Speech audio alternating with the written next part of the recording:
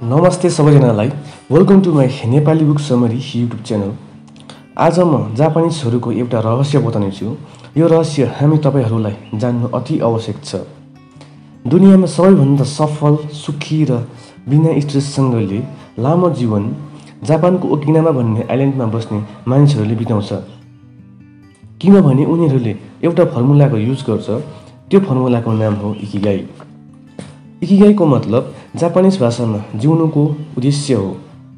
र जापानिजहरूले आफ्नो इकिगाईलाई खोजेर मतलब जिउनुको उद्देश्यलाई खोजेर फ्लो स्टेज एचिभ गरिसकेको हुन्छ। अनि आफ्नो गोलमा काम गरेर सफल अनि सुखी जीवन बिताउँछ। र यो फर्मुला हामी पनि युज गरेर आफ्नो इकिगाईलाई खोजेर सुखी सफल अनि बिना स्ट्रेससँगले लामो जीवन बिताउन सक्छौँ। र यो इकिगाईको फर्मुलाको युज गर्नुको लागि हामी चारवटा सर्कलमा सिक्छौँ। फर्स्ट सर्कलमा वाट यु लभ मतलब तपाईँलाई के काम गर्नु मनपर्छ। Second सर्कलमा what you are good at मतलब तपाईँलाई के काम पर्फेक्ट अनि राम्रोसँग गर्नु आउँछ। Number थर्डमा what you can be paid for यानि कि तपाईँले काम गरेको बदलामा पैसा पाउने कुराहरू। अनि लास्टमा वाट द वर्ल्ड निड यसमा यो सब कुराहरू आउँछ कि दुनियाँको जरुरतको बारेमा। फर्स्ट अनि सेकेन्डको कम्बिनेसनबाट तपाईँले पाउनुहुन्छ आफ्नो पेसनलाई। जुन काम गर्दा तपाईँलाई मनपर्छ त्यो काममा तपाईँ धेरै राम्रो हुनुहुन्छ भने त्यो हो तपाईँको पेसन। इक्जाम्पल जस्तै नयाँ कुरा सिक्नु अनि प्रोग्रामिङ गर्नु तपाईँलाई मनपर्छ अरे अनि त्यो काम धेरै राम्रोसँगले गर्नुहुन्छ भने नयाँ कुरा सिक्नु अनि प्रोग्रामिङ गर्नु। तपाईँको पेसन हुन्छ। सेकेन्ड र थर्डको कम्बिनेसनबाट तपाईँले आफ्नो प्रोफेसनलाई पाउनुहुन्छ। जुन चाहिँ काम तपाईँले धेरै राम्रो गर्नुहुन्छ त्यसको बदलामा तपाईँलाई पैसा दिन्छ भने त्यो काम हो तपाईँको प्रोफेसन। इक्जाम्पल नयाँ कुरा सिकेर तपाईँले एउटा एप बनाउनु भयो अरे त्यो एपबाट तपाईँले पैसा पाउनु थाल्नुभयो अरे। त्यो काम हो तपाईँको प्रोफेसन। थर्ड अनि फोर्थको कम्बिनेसनबाट तपाईँले पाउनुहुन्छ आफ्नो भोकेसन।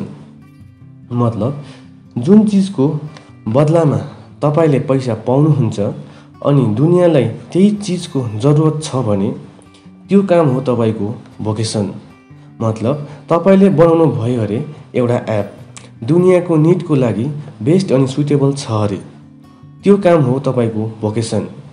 अनि लास्टमा तपाईँले आफ्नो मिसनलाई पाउनुहुन्छ।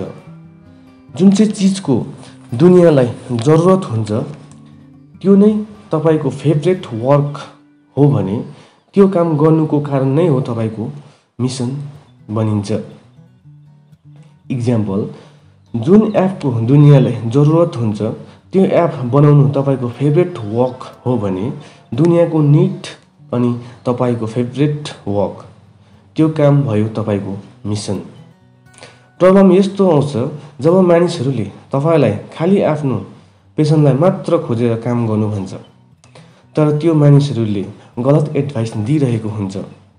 खालि आफ्नो पेसनलाई मात्र खोजेर काम गर्नु काफी हुँदैन किनभने आइआईको त्यो एउटा मात्र पाठ हुन्छ। तपाईँले यस्तो खालको काम खोज्नुहोस् ताकि आइआईको अरू तिनवटा कम्पोनेन्टलाई पनि सेटिस्फाई होस्। इक्जाम्पल दिएर बताउनु पर्दा सम्झिनुहोस् तपाईँलाई ब्लग लेख्नु मनपर्छ अरे।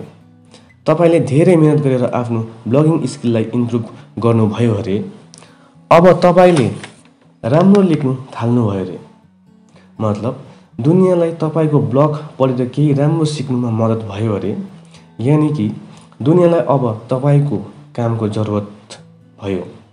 अब उनीहरूले तपाईँलाई तपाईँको कामको बदलामा पैसा दिन्छ। मतलब ब्लगिङले यो चारवटा कम्पोनेन्टलाई सेटिस्फाई गर्छ। मतलब ब्लगिङ तपाईँको इकिगाई भयो। तपाईँको एम यस्तो खालको खोजीमा हुनुपर्छ। पेसन प्रोफेसन भोकेसन अनि मिसन। ताकि यो चारवटा कम्पोनेन्टलाई सेटिस्फाई गरोस्। अनि यो चारवटा कम्पोनेन्टको बिचमा तपाईँले आफ्नो आइकिगाईलाई पाउनुहुन्छ।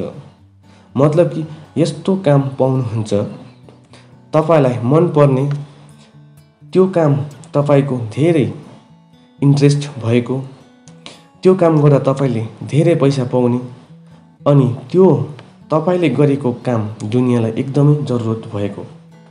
जब यो चारवटा कम्पोनेन्टलाई सेटिस्फाई गर्नुहुन्छ तब मात्र तपाईँ लामो र बिना स्ट्रेससँगले सफल जिन्दगी जिउनु सक्नुहुन्छ।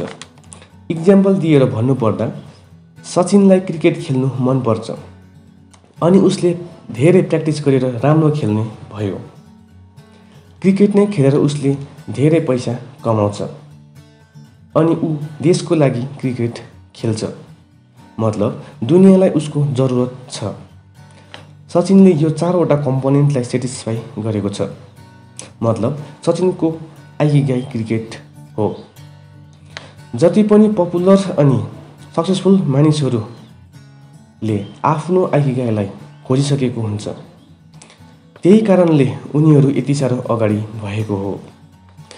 आइकिगाईलाई खोज्नु एकदमै जरुरत छ किनभने आफ्नो काममा फ्लो स्टेट एचिभ गर्नु सक्नुहुन्छ। फ्लो स्टेप्सको मतलब आफ्नो कामलाई एकदमै ज्यादा फोकस गरेर गर्नु हो। ताकि आफ्नो आइगाई बाहेक अरू कुनै पनि कुरालाई इम्पोर्टेन्ट नदिनु। र यो फ्लो स्टेज नै एक्सपर्ट आर्टिस्ट अनि जिनियस मान्छेहरूको पावर हुन्छ। र यो सबै कुरा मैले हेक्टस ग्रेसिया अनि फ्रान्सिस मिनालेसको किताब आइगाईबाट बताएको हो। यदि तपाईँलाई यो भिडियो कामको लाग्यो भने लाइक सेयर सब्सक्राइब अनि कमेन्ट गर्नुहोस्। तपाईँको एउटा कमेन्टले धेरै मोटिभेट गर्नेछ So finally, thank you for watching video.